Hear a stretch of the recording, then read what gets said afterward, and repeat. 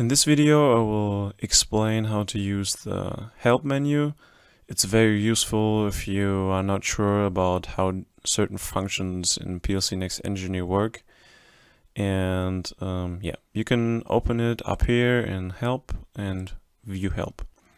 Now there's four different ways of how you can search for your topic.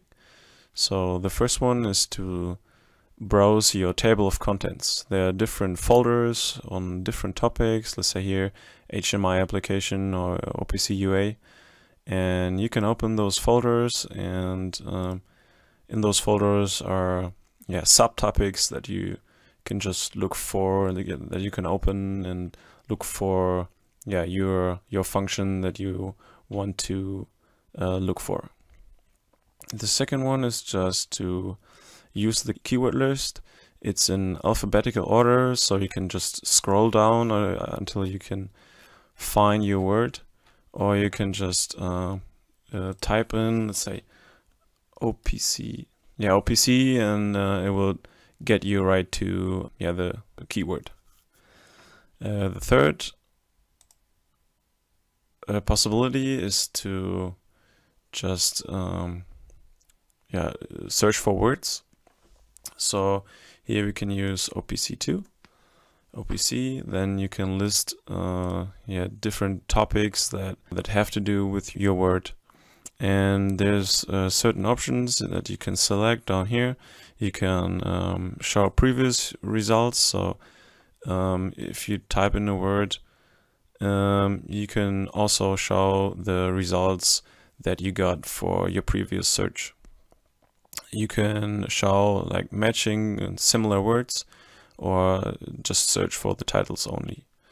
And yeah, it will give you a selection of different topics and you can you know look those through and select your your topic that's most fitting to your problem.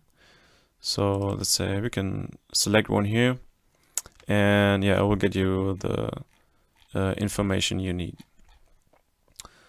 Um, yeah, if you got certain topics that um, that you want to look up over and over again, you can uh, add them to your favorite list. So right here we can uh, we have the explanation of the controller cockpit. We can add them to our favorite list and we can look them up over and over again. Um, yeah, we can hit display so it will show it here or we, we can remove it from the list too. Remove. So yeah, we can also use the symbol bar up here. Um, this button is going to um, hide this list right here. You can also, if you have uh, opened a, a certain topic, you can locate it in your table of contents. This is a back button and a forward button, a home button that will get you to your home page. You can also print certain pages and there's more uh, help options that you can select here.